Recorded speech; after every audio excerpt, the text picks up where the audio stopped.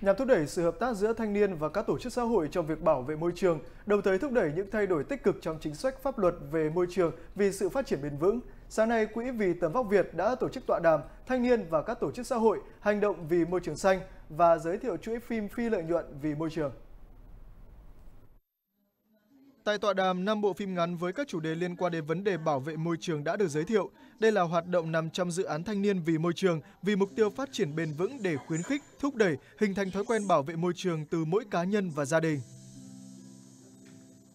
Môi trường đang ờ, trở thành một vấn đề ờ, rất là à, nóng bỏng và cần sự chung tay của tất cả các bên, ờ, không chỉ là của nhà nước mà tất cả các thành phần, các bên liên quan trong cộng đồng xã hội phải cùng nhau thì mới có thể giải quyết được vấn đề mà mang cái tầm vóc rất là to lớn này. Và chúng tôi nhận thấy rằng là thanh niên chính là cái đối tượng mà mang ý nghĩa quyết định bởi vì là thanh niên với sức trẻ của mình cũng như là với cái cái khả năng truyền đạt lan lan tỏa đến cộng đồng rất là mạnh mẽ thì sẽ có cái tác động rất là lớn đến cộng đồng xung quanh.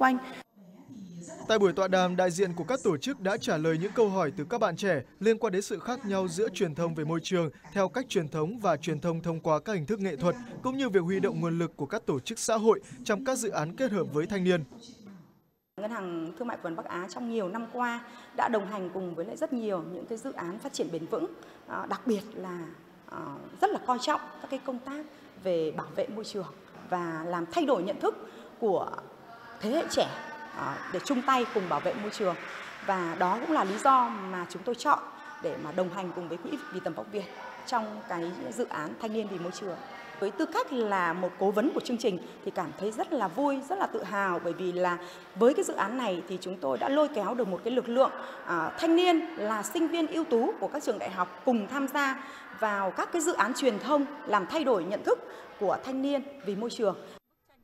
là tổ chức phi lợi nhuận với nhiều hoạt động ý nghĩa cho cộng đồng, cho giới trẻ trong vấn đề bảo vệ môi trường. Dự án thanh niên vì môi trường của Quỹ Vì tầm vóc Việt dù mới được triển khai được gần một năm nhưng đã đóng góp cho mục tiêu phát triển bền vững về các vấn đề như giáo dục và sức khỏe trong cộng đồng.